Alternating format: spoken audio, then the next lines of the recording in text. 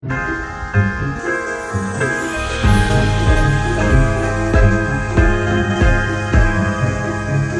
함께 하고 싶은 일들을 상상하는 게 요즘 내 일상이 되고 너의 즐거워한